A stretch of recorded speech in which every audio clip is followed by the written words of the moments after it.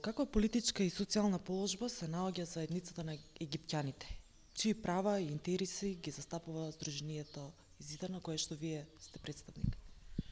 Заедницата на балканските египтјани во Македонија денеска како заедница не е признаена во Уставот на Република Македонија и е сместена под називот други.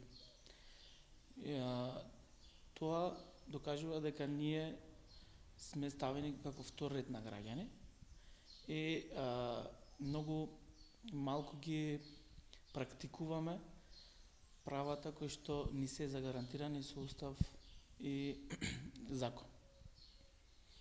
А, другиот момент е заедницата а, е претежно со пониско образование и пак има исклучоци кои што работат а, и придонесуваат во развој на ова општество, но сепак а, се соочуваме со низок социјален статус и со ниско а, образование. А, каде тоа ве става на а, каде ја става всушност заедницата на египтјаните на политичката сцена во Македонија?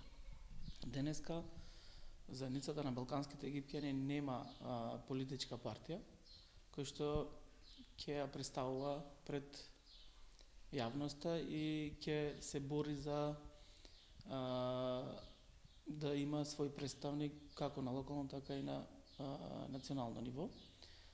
А, единствено што е како организирана форма е тоа што и ние имаме граѓански организации кои што за жал се со низок капацитет и немаат многу можности за да а, придонесат и да го развиваат а, социјалниот статус на заедницата на балканските египјани.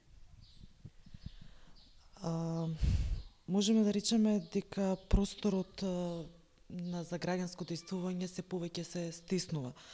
Кои се вашите искуства како граѓански активист, меѓутоа и како представник на организација во една мала општина како што е Рес?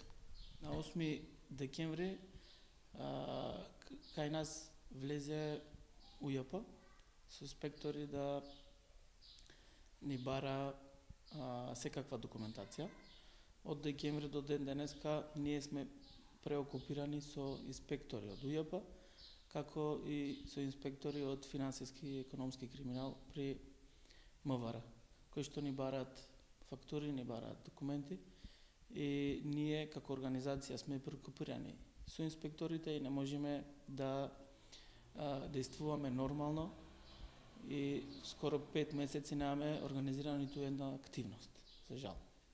Бидејќи не сме во, во можност, бидејќи сме преокупирани и сме презафатени со оправдувања пред инспекторите дека а, кај нас а, е све легално, све е чисто и све се работи законски, сите даноци се платени, но службите инсистираат да најдат некој пропуст со цел да бидеме казнати.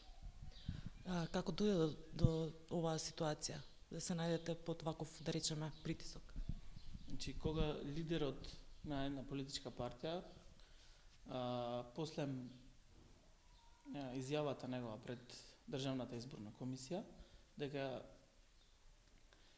а, граѓанските организации се странски служби и дека а, ќе бидат а, гонети граѓански ќе биде гонет граѓанскиот сектор а, како дел од граѓанскиот од граѓанскиот сектор и ние се најдовме во тој кош кој што а, од тогаш па се до ден денеска се уште трае оваа голгота врз нас како граѓански активисти.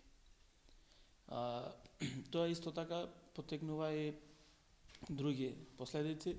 Нарушена ни е соработката со локалната самоуправа, кој што ние како локални организации сме обврзани да а, работиме за развој на локалното обшество.